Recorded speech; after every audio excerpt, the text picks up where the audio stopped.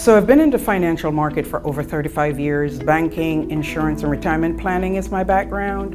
And I run my own agency for almost um, 20 years. And so what we do is we bring the information about the most lucrative tax credit to the small business owners. And this is free money that they may be eligible for. That's even different from PPP in that they get to use it as they see fit if they qualify. The government every year decided how can we assist small businesses? Because funding is always a big problem. Not everybody qualifies for a loan. Funding for small businesses are things that are geared toward uh, augmenting the businesses. The intent of the tax credit is to keep the money in the United States.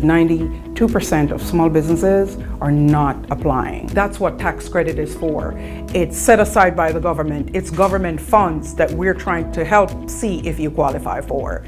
Um, and, and that's the designation, tax credit. Uh, we only focus on um, the most lucrative, which is like research and development, again, which is based on innovation. The checks, if you're getting cash, can come from the state, or it can come from the federal government, or it can come from both, or, or it can be a credit. And again, it's always trying to teach small businesses um, to, to, to just maximize um, their growth.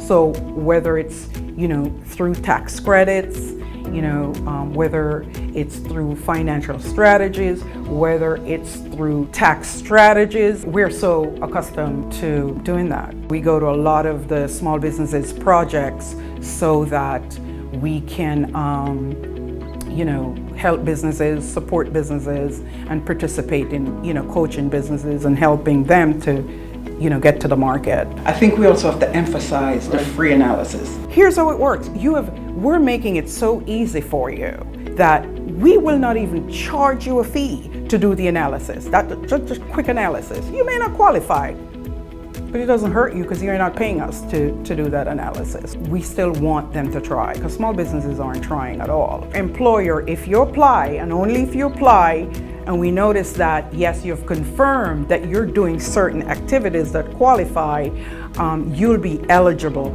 for this tax credit. Research and development tax credit and other tax credit that we focus on really help small businesses grow.